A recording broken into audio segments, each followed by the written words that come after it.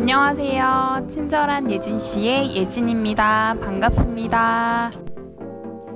해외여행을 갔을 때 그 나라의 간단한 인사말을 알아둔다면 식당이나 호텔, 가게, 택시에서도 현지인들과 소통하며 즐거운 여행이 될 수 있을 것 같습니다.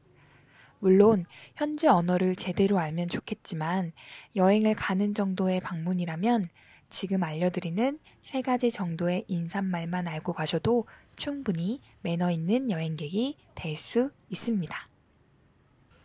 저도 이번에 베트남에 살고 있는 현지 친구에게 몇 가지 간단한 베트남 인사말을 배웠는데요.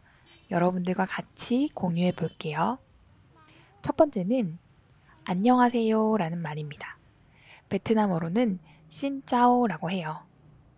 사실 발음이 정확하진 않지만 신짜오라고만 해도 어딜 가든 현지 사람들이 다 알아듣고 웃으면서 인사를 받아주더라고요. 왜 우리도 그런 거 있잖아요.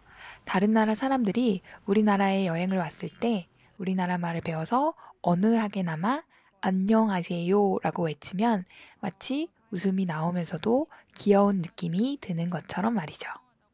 진짜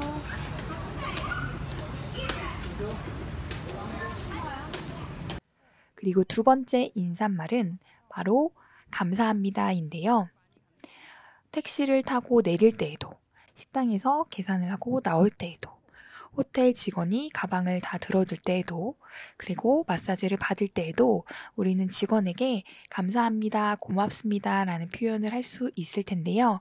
Thank you라는 말도 좋지만 이왕이면 좀 더 매너 있게 그 나라의 말로 cảm ơn이라고 하면 좋습니다. 근데 제가 이거를 발음을 들어봤더니 제가 따라할 수 있는 발음은 아니더라고요. 꼭 네이버에 한번 쳐보세요. 어렵습니다. 아 내려 오케이 까만 까만 까만 그리고 세 번째는 바로 미안합니다, 죄송합니다 라는 사과를 할 때입니다. 베트남어로는 신로이라고 하는데요. 물론 사과할 일이 많이 일어나진 않겠지만 지나가다가 사람들과 부딪히거나 어깨를 툭 치고 지나가는 경우도 많은데 그때는 I'm sorry라고 하는 것보다는 신로이라고 하면 좀 더 마음이 전달이 되겠죠. 아니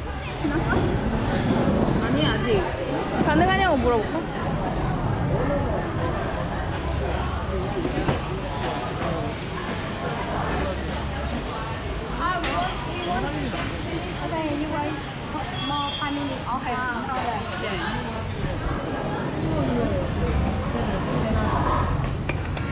배나자? 이건 뭐야? 드링크 메뉴. 어, 나 소프트 드링크 하나 먹자. 어 좋아 제일 유명한 거 일단 우리 morning glory도 시킨다 그랬고 뭐 세트가 있네. 한국말로 돼 있어 메뉴가. 그래서 사람들이 많이 오나 보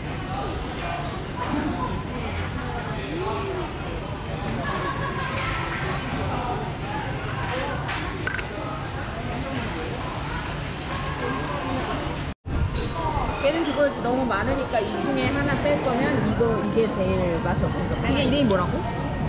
밥사오. 밥사오. 이건 쌀국수. 얘는 누들. 모닝글로리. 돼지인 줄 알겠네 까만